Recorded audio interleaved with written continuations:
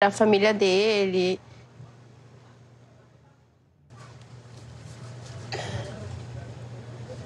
A gente nem foi ainda. Já tá chorando.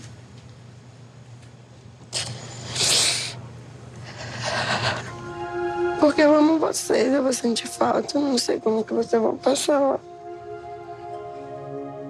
Eu me sinto de coração partido em ver minha mãe emocionada, mas não fiz nada de errado, porque eu só quero proteger minha mãe. Qual a ideia de vocês? Quanto tempo vocês vão passar lá? Ainda é só de ida, a gente ainda não tem passagem pra voltar. Por, por que não tem passagem pra voltar?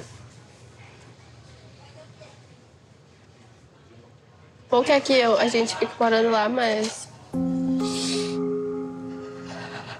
Pô, já passou muito tempo longe da família dele também, por causa de mim, do bebê.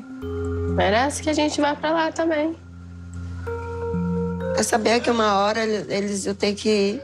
Não sabia que era tão rápido assim. Eu me preocupo por ela não, nunca ter saído para outro país. Vou prometer que a gente não vai brigar, não. Ou não cumpre o que ele fala. Ele tenta. Do receio do, das reações do Poke, ele de lá serem mais fortes as brigas. Mas eu rogo a Deus que ele trate minha filha bem. Se ele não quiser mais ela, que ele mande ela de volta para mim. Ele sabe que eu te amo.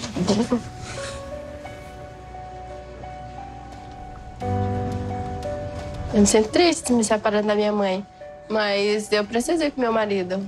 Ia dar uma vida melhor para nossa família.